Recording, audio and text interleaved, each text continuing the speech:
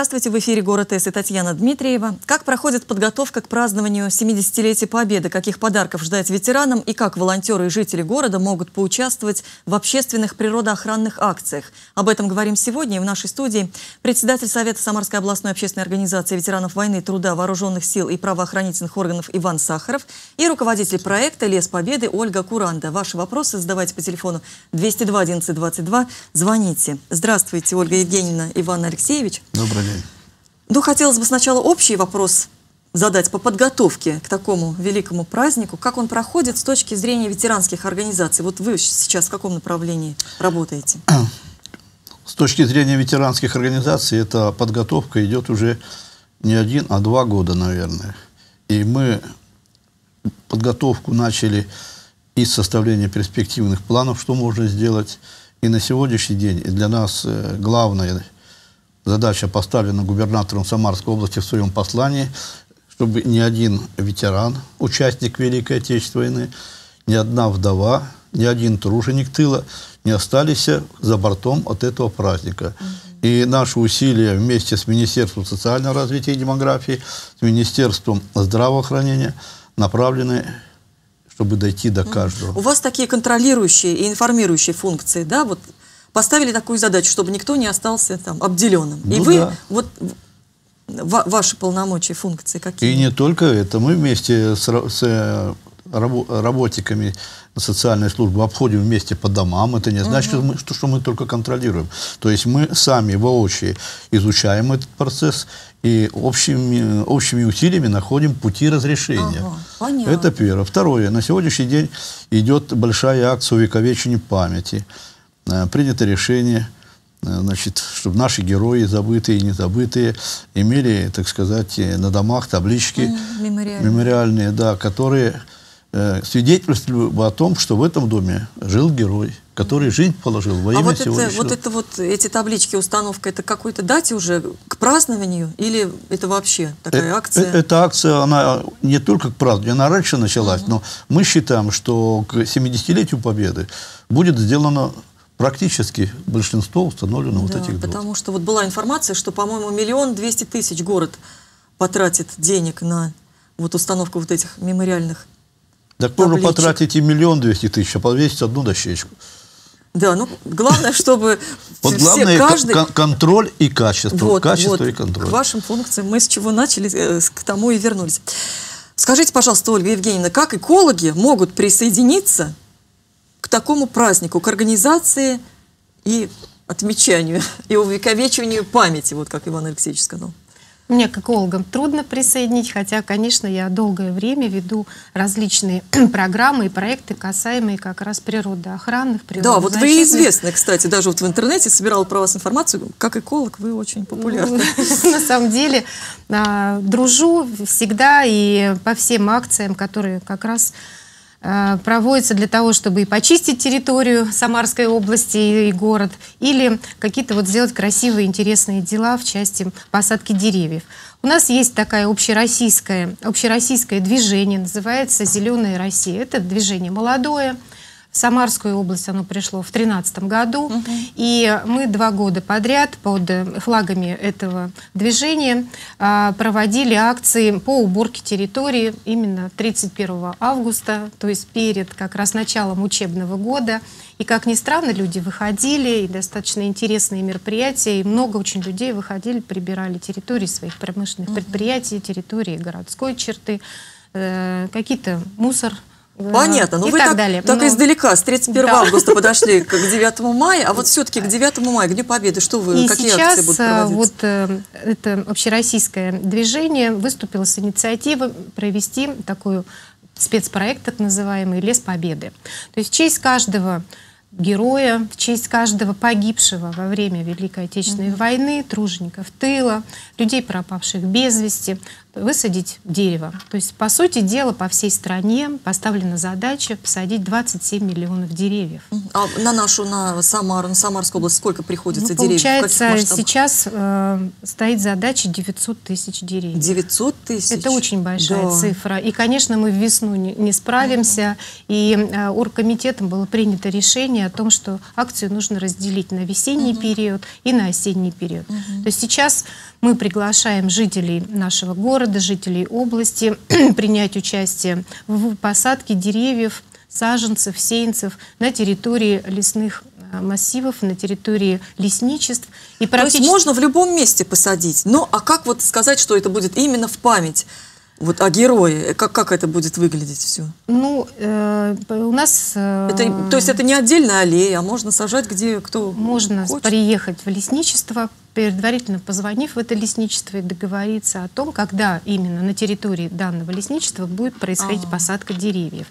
А, все а, контакты всех лесничих есть на сайте Министерства лесного хозяйства. Там справа есть такая угу. марочка «70 лет Победы».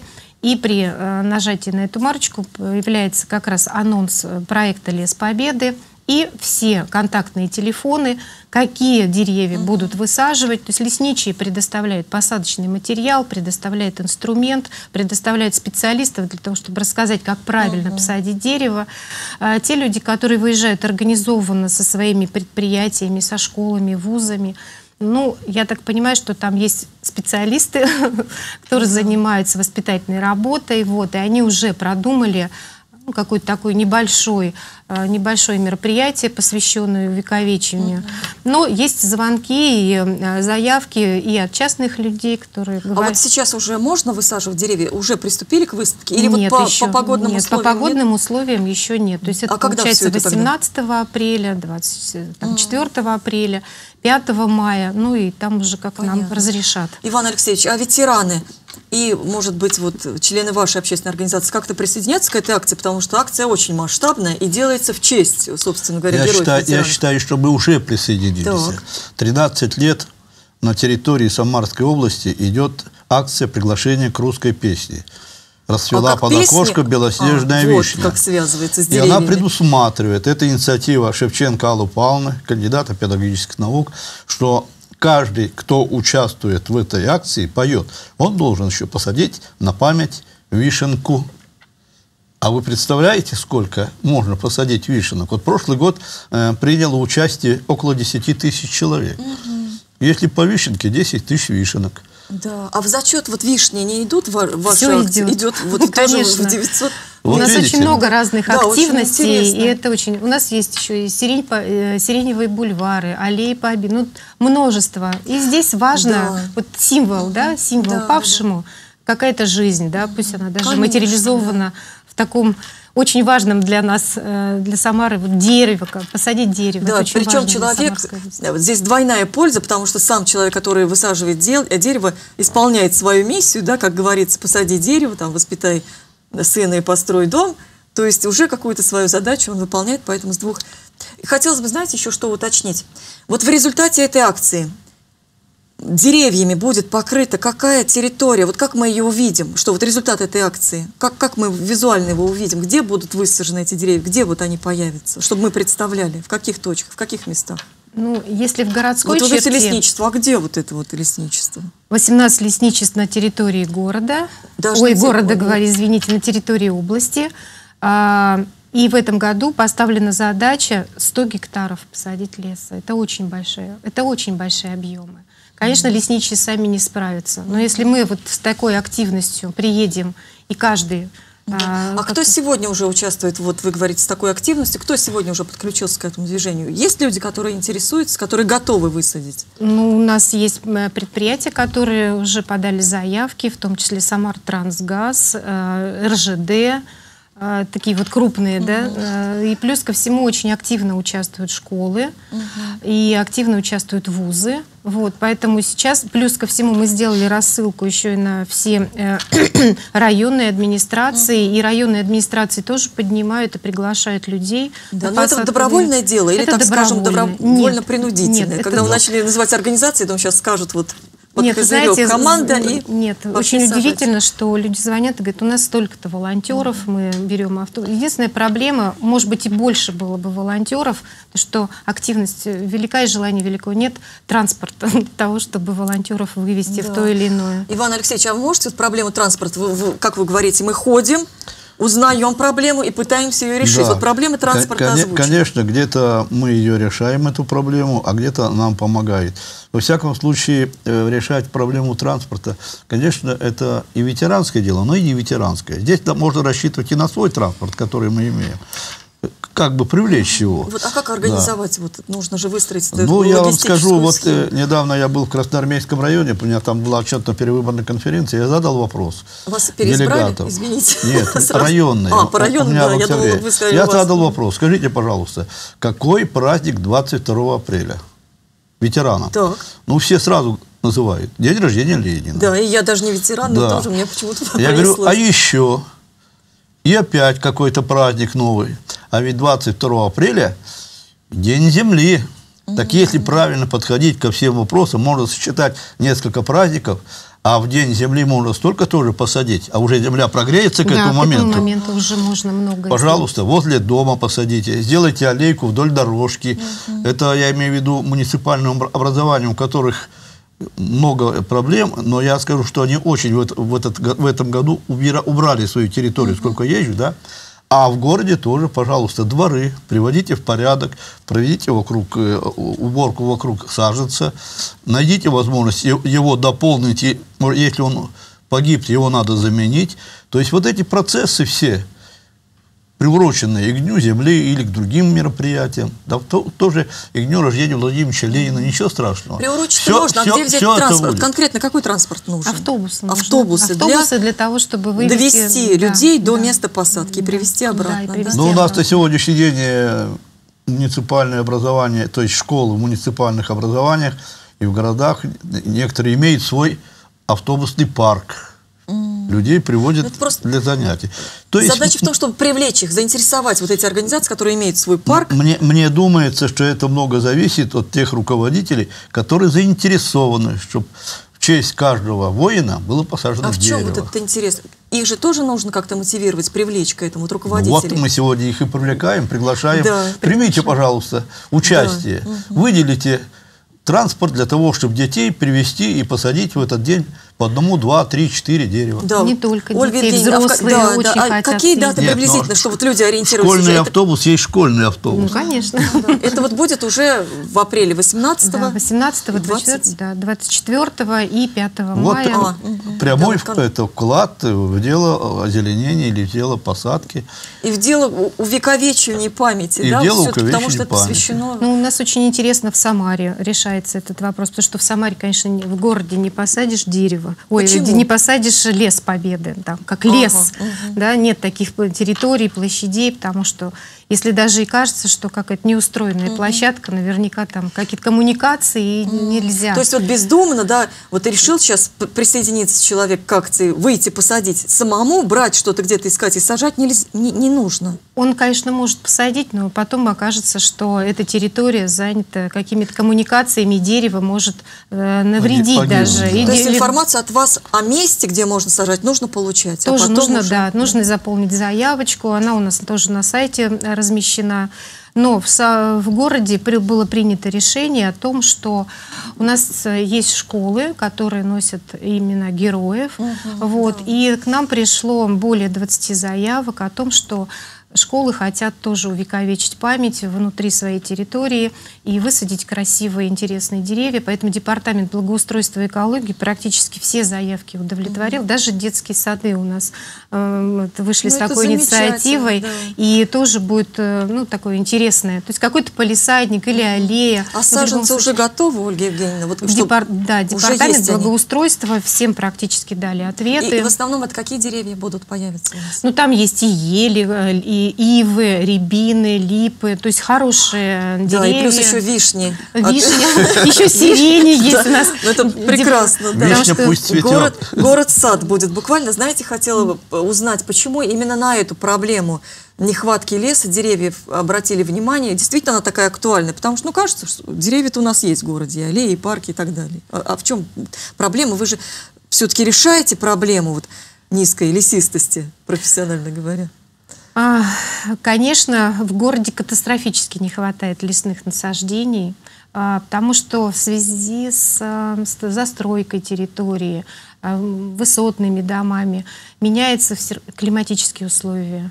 А, и необходимо высаживать деревья в таки, таким образом, чтобы все-таки у нас, ну, как сказали экологи, был выстроен некий рекреационный экологический каркас городской среды для того, чтобы нам дышалось хорошо, чтобы у нас не было шума, чтобы у нас был кислород, чтобы у нас ну, хоть как-то улицы были почище, Понятно. А в результате сейчас. проведения вот этой акции 900 тысяч деревьев уровень лесистости повысится в городе, да? Нет, зачем? Насколько? Это по всей области. По, по, и по области. Он будет Мы надеемся на то, что да? все-таки, да, деревца приживутся, и это будет красивый лес, замечательный, который мы будем видеть постоянно, отдыхать, и он принесет нам благости угу. для нашей территории. Да. Потому что она у нас сейчас опустынивается, и это очень важно, что лес нужно высаживать, угу. нужно восстанавливать лесные да. просторы. Иван Алексеевич, с какими проблемами все-таки вы сталкиваетесь? Потому что времени осталось немного, да? Вот вам поставили такую задачу грандиозную, чтобы все были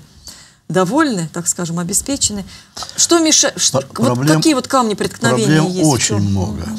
Они и естественные, и субъективные, и объективные.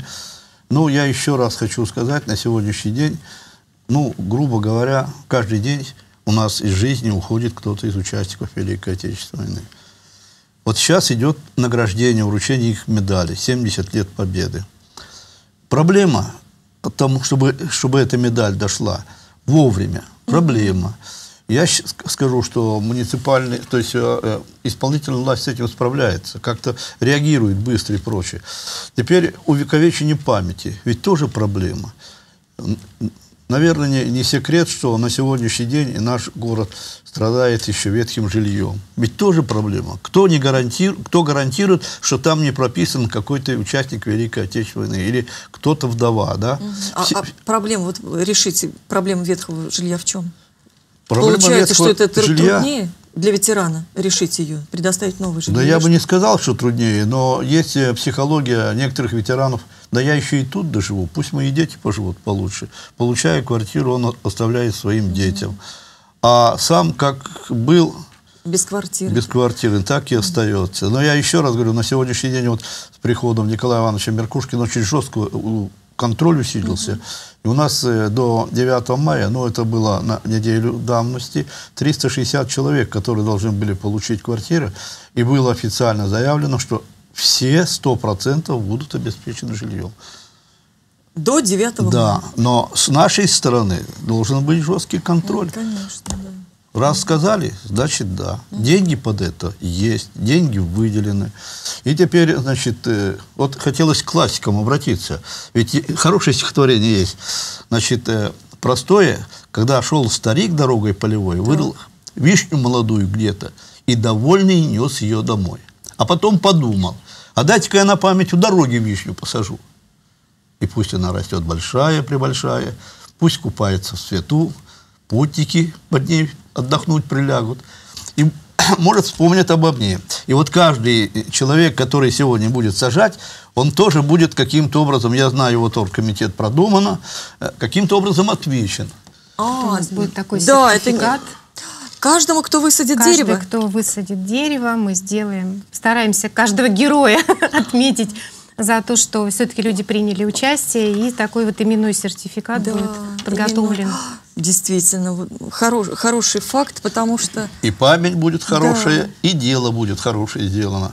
Mm -hmm. И тот человек, ради которого посадили дерево, будет увековечен памятью, то ли в том коллективе, который mm -hmm. сажал, то ли, так сказать, через оргкомитет пройдет обобщение, это все.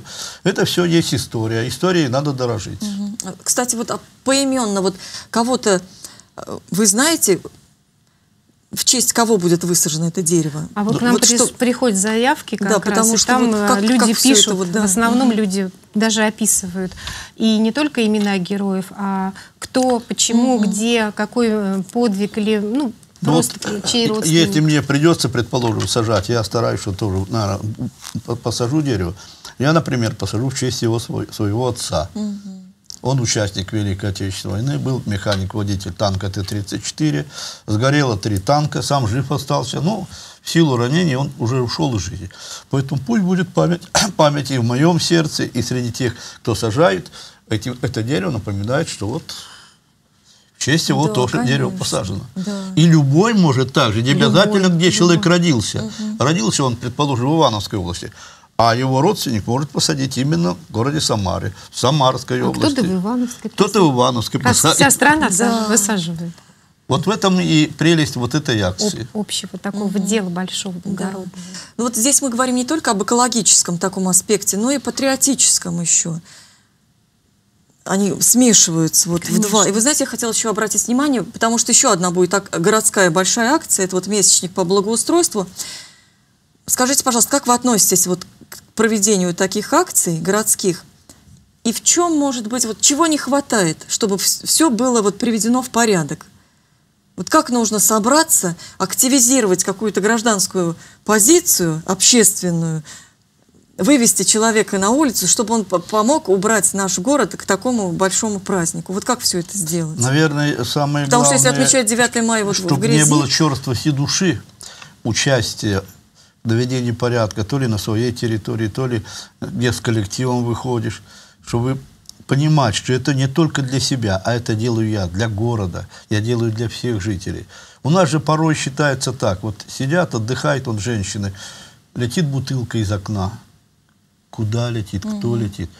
Она летит от человека, которому 30 лет, а сидят люди и говорят, вот мы его не воспитали. Да. И Воспитание начинается, будем говорить, в семье, а продолжается и обществом, и коллективами, и организациями общественными. Поэтому надо добиться так, чтобы не было равнодушных. Только через рав- равнодушие совершается преступление. Если человек неравнодушен, он остановит, он поможет. А вот равнодушие это самое страшное зло. Да, потому что действительно патриотически, если ты не любишь свой город, да, ты уже и не патриот, ты Абсолютно уже и не верно. эколог, и вообще вот поражает вот такое отношение. Хороший девиз. сего- Все экологи. Да. Я вот как раз хотела спросить, экологи как-то присоединятся вот к теме благоустройства накануне Дня Победы? Вот какие-то акции я будут знаю, да, конечно, проводить в обязательном акции? порядке. Чтобы не только вот субботник, а еще что-то. Ну, я так понимаю, что да, у нас сейчас со- создается или создано общественное движение за чистую Самару. Плюс ко всему у нас есть много общественных организаций, может быть, не в чистом виде экологи, но они а, активно пропагандируют раздельный сбор мусора, а, выступают на сайтах, во всех соцсетях. То есть вот эта полемика сейчас, она не только в полемика, она уже превращается в какую-то жизнь, в какие-то наши установки, в то, что нужно не бросать. Мне кажется, мусора стало меньше за последние годы в Самаре.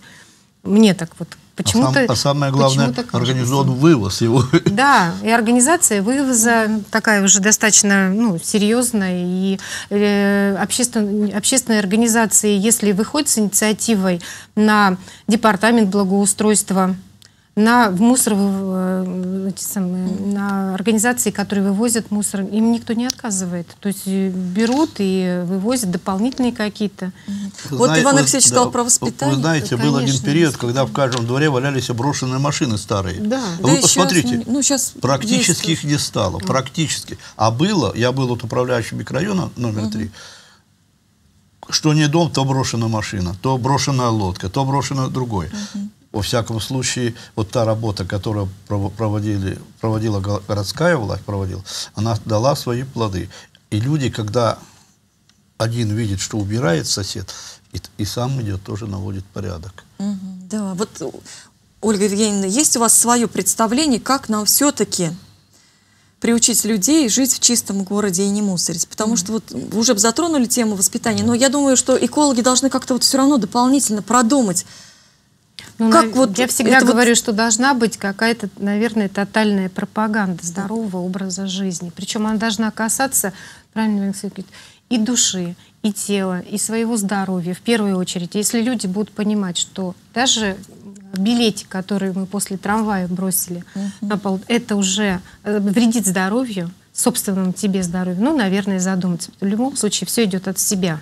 Если ты понимаешь, что ты вредишь сам себе, если ты даже равнодушен к окружающему миру, то тогда, может быть, ты притормозишь к тому, чтобы мусорить, чтобы бутылки бросать угу. кому-то на голову и так далее. Это воспитание. И если реально хотя бы процентов 15-20 в населении будет воспитано именно вот в таком плане, да, то э, это, это большим снежным комом потом пойдет на, друг, на мировоззрение а других граждан. Экологическое воспитание в школах сегодня, в детских садах на каком уровне? Чем, чем представлено, чем подкреплено? Вот что у нас с этим происходит? У нас э, много э, образовательных учреждений, в которых есть персональные программы по экологии, в том числе и вот деток учат и раздельному угу. сбору мусора, и как себя правильно вести и так далее. И это имеет какой-то даже Есть результат. Такой. Но не во всех школах, ну, это не, во все... не обязательная не, Это не программа, обязательная программа, вот да, но эти программы есть, угу. и они достаточно широко известны среди э, преподавательского угу. состава. Вот, поэтому те школы, которые заинтересованы, и внедряют. Очень много школ, которые занимаются, в том числе и вот сейчас будет в мае месяце «Чистые берега» акция, угу. тоже будут при, э, ребятки выходить. Э, есть школы, в которых существует там чуть ли не пионерия зеленая, тоже у нас есть в Самаре. Такой, да, есть что такая. Хочется, да, чтобы уже не взрослым людям как-то штрафовали. Вот сейчас усиливаются меры, да, вот выбросил там э, что-то там мусор, тебя поймали, штраф не вывез, мусор, Мы штраф. должны а... добиться, чтобы все дети, все взрослые были причастны к какому-то хобби, так называется. Вот я недавно разговаривал с профессором Ощепковым Владимиром Михайловичем, вы знаете, да? Да, да. Наш великий, так сказать, режиссер, да. и он говорит, Иван Алексеевич, ну дай мне самого безобразного или там хулиганистого мальчишку. Я его поставлю, и он будет петь. А в хоре хулиганить некогда. Там жесткая дисциплина. Поэтому, если человека вовлекли то ли в художественную деятельность, то ли в шахматы, то ли в спортивную деятельность, угу. то ли в борьбу за чистоту, да. за да, чистоту да. двора, угу. улицы, города. Ему некогда просто-напросто будет э, ходить там с сигаретой, он будет понимать, что это нельзя. Угу. Окурок бросишь, идет дым, это же экология все. И мне думается, что вот на сегодняшний день э, много программ, э, они есть в государстве, которые нужно активизировать, наращивать, наращивать, наращивать. И общими усилиями мы и экологию сделаем, и патриотизм поднимем. Да, и... оно все вместе да, взаимосвязано. да, мы вот э, как раз сегодня вот и пришли к такому выводу, что это взаимосвязано. И я хотела бы еще вот, э, чтобы вы в конце рассказали, чтобы, если телезрители, жители нашего города захотят проявить свою гражданскую активность, поучаствовать в этих акциях, куда им обращаться? Еще раз вот эту информацию. Куда, когда, где вот эту информацию? Ну, если касается непосредственно Леса Победы, угу. то нужно зайти на сайт Министерства а, природных ресурсов. И а, там есть отдельная такая марочка, называется «70 лет Победы». После нажатия на эту марочку как раз выйдет информация угу. и анонс э, мероприятия, и где, с каким лесничеством можно связаться. Вы, и уже лесничие скажут, какого числа, где. Ну, я знаю, что все практически лесничие подготовили для такой акции места вблизи дорог, угу. то есть в шаговой доступности, рядом с какими-то красивыми озерами или каким-то, ну, реально угу. таким красивым местом, где люди могут не только посадить дерево, но еще и отдохнуть, а, совершенно в таком нормальном угу. да, варианте, насладиться природой нашей замечательной, красивой и э, спокойной... То есть на сайт Министерство лесного хозяйства. Да, Просто набираешь, да, все да, это доступно. Да, да, да, Иван. Алексеевич, и хотелось бы у вас, если вдруг кто-то захочет к Дню Победы помочь ветеранам, откликнуться тоже вот на... Значит, э, я скажу так. У нас на территории каждого района города имеется совет ветеранов. Так. На территории города Самары проживает 330 тысяч ветеранов различных категорий. Значит, советы ветеранов четко знают и администрация районов, угу. И знает общественность, которая значит, э, вместе сотрудничает. И обращ... хочу обращаться, обратиться ко всем ветеранам города Самара, значит, э, поддержать вот акцию «Зеленая Россия», найти возможность обратиться в свои ветеранские организации, я знаю, что кроме девяти районных советов и одного городского совета, у вас еще находится порядка 300 различных первичных организаций, угу. 400, там, 500. Дело в том, что ведь ветеранское движение – это большая сеть и по месту жительства, да, по ну месту вот, работы ой, и прочее. Поступил вопрос, мы, у нас заканчивается время. Маргарита, э, вопрос ваш передам обязательно, телефон оставили. Спасибо вам огромное за вашу работу, успеха, удачи вашей акции и большой активности горожан. Желаю вам всего самого хорошего. До свидания.